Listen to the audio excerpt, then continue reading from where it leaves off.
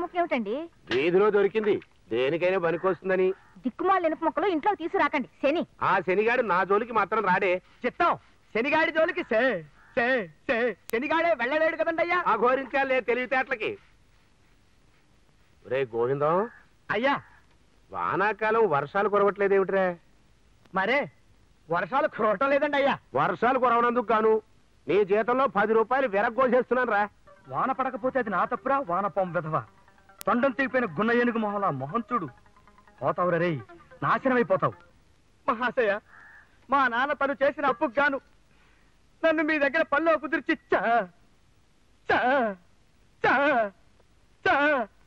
చచ్చాడు పనిలో చేర్చుకున్నప్పుడు తమరు నెలకి మూడు వేల రూపాయల జీతం ఇస్తానంటే ము మురిసిపోయాను. పాత బాకీలు వసూలు కానప్పుడు పొలంలో పంట సరిగ్గా పండనప్పుడు కొబ్బరికాయల దిగుబడి తగ్గినప్పుడు మీకు ఒంట్లో జబ్బు చేసినప్పుడు మీకు జలుబు చేసినప్పుడు కొంత కొంత కో- కో- కో- కో- కోసుకుంటూ వచ్చి ప్రస్తుతం నాకు నెలకి పన్నెండు రూపాయల పావలా ఇస్తున్నారు. దాంతో ఏం తిన్ను మట్టి? ఇది తమకు న్యాయమా మహాశయ? ఒరేయ్. ఒరేయ్, సుందరం ఎక్కడికి? బయటికి నాన్న. ఆ బయటికి. కొంపలో కూర్చొని చదువుకుని పాస్ అవుదామని లేదు. ఎంతసేపు గాలి పటంలా బలాదూరు తిరగడమే. ఏదో ముక్కును బట్టి ఆ బియ్య పరీక్ష అయింది అనిపించకపోతే నీకెవడు లక్ష రూపాయలు కూడా కట్నం ఇవ్వడు. వినిపిస్తోందా? వీడొకడు నా కడుపుని చెడబుట్టాడు వెధవ. చిత్తం బాబుగారు ప్రహ్లాదుడు టైప్ అండి అయ్యా మరే అంటే నేను హిరణ్య కసి అయిపోయినా రూపాయి కోసేశాను పో.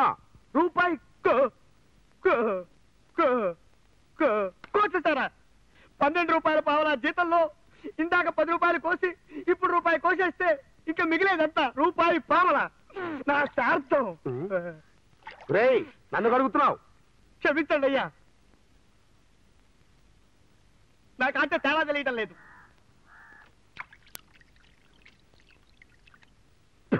పల్లెటూళ్ళు అంత త్వరగా అద్దెకెవరు వస్తారండి? ప్రస్తుతానికి ఆ వాట కూడా మీరే వాడుకోండి. ఖాళీగానే ఉంది కదా. ఎందుకులేండి? మీ నాన్నగారికి తెలిస్తే తిట్టిపోస్తారు. పర్వాలేదు మీ సామాన్లు పెట్టుకోండి. బాగుంది బాబు. బేషుగ్గా ఉంది. ఇక్కడ మీరు విష్ణుమూర్తిలో వరాలు ఇచ్చేయండి. అక్కడ మీ నాన్నగారు రేపట్లోపు ఈ వాటా ఎవరికైనా అద్దెకిచ్చి అడ్వాన్స్ తీసుకోకపోతే జీ జీ జీతంలో నుంచి చివరి రూపాయి కూడా కోసేస్తానని మహాప్రేమతో తాకీదిచ్చారు ఆ రూపాయి కూడా పోతే ఇంకా నాకు నెలకి మిగిలేది పావల పకోడీలు కొడుకు మింగాలి. వెతకండి. ఇల్లు కావలసిన వాళ్ళు దొరక్కపోరు. ఇల్లు బాబు ఇల్లు. ఎవరికండి బాబు ఇల్లు? ఇల్లు. ఇల్లు కావాలండి బాబు ఇల్లు. తాజా ఇల్లు. అందమైన ఇల్లు. బాబు ఎవరికండి బాబు ఇల్లు? ఇల్లు కావాలండి బాబు. ఇల్లు ఇల్లు. తాజా ఇల్లు బాబు. ఆ తాజా ఇల్లు బాబు. అందమైన ఇల్లండి బాబు. అందమైన ఈ ఈ ఇల్లు. ఇదేం ఊరయ్యా బాబు? పళ్ళమ్మినట్టుగా ఇళ్ళు అమ్ముతారా ఈ ఊళ్ళో? అమ్మకానికి కాదు బాబు. అద్దెకి. మీరు ఊరికి కొ- కొ- కొత్తగా వచ్చినట్టున్నారు. మీరు మా ఇంట్లోనే తప్పకుండా దిగి తీరాలి. మీ మీ- మీకు తప్పదు బాబు. తప్పదు. ఇదేమిటయ్యా? వదలు. తప్పదు బాబు. వదలవయ్యా.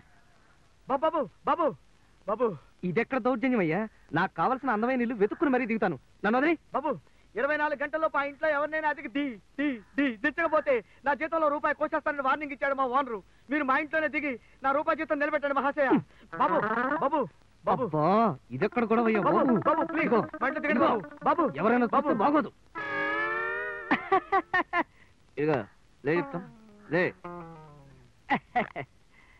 చూడు బాబు నేను ఆలోచించి ఓ డెసిషన్కి వస్తాను ఈ లోపు నువ్వు కళ్ళు మూసుకుని ఒకటి నుంచి వంద దాకా లెక్క పెట్టగలవా?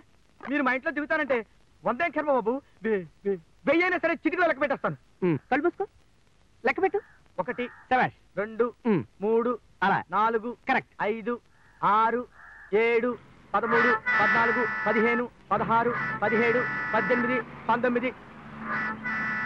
ఎవరైనా బస్ స్టాండ్ నుంచి జపం చేస్తానంటే ఇంటికి వెళ్ళి